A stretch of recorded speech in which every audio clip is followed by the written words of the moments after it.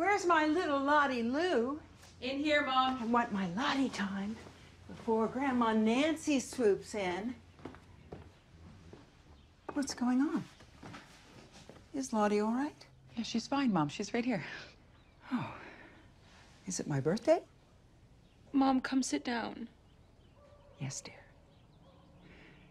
Let me introduce everyone first. This is my eldest daughter, Tess, and her husband, Michael. This is Lottie. This is their lovely house in Beverly, which I happily financed. This is my younger daughter, Emily. She's a little dramatic. Emily drove all the way up from New York City for this. Isn't that thoughtful? This is my ex-husband, Scott, to whom I pay alimony, even though he left me for a man after 22 years of marriage. That's Wendy Heatherton. This was 18 months ago when she still worked for me, before raiding my Rolodex and stealing all my clients. And I, I didn't know who this person was. I'm Joyce Hildy. Would you like to have a seat?